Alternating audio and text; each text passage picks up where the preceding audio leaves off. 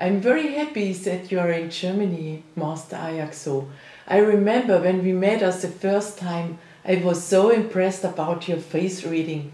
And I found out that you're the only person in the world I found who can really read the German, especially the European faces. What do you can read on my face? Well, I can read a lot of things from yours.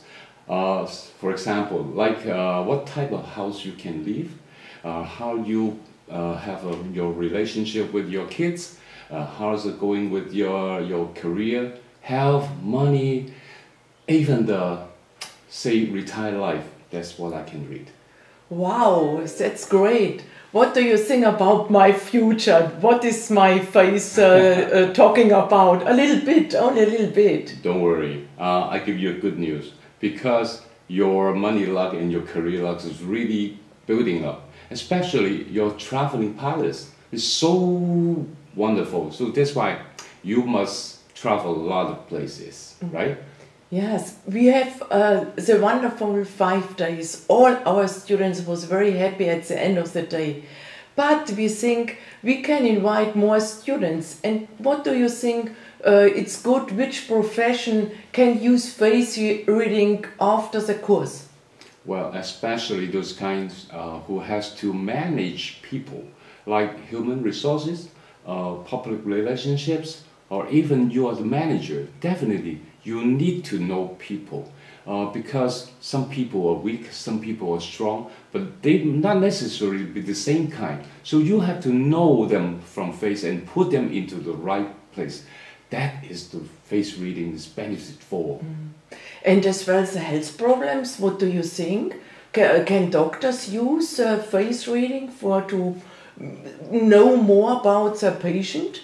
Well, in Chinese, in China, we always have a kind of so-called face diagnostic.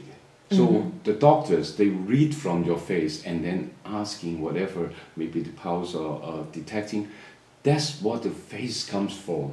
The face really showed off your problem or mm you are okay with it from the face. Mm.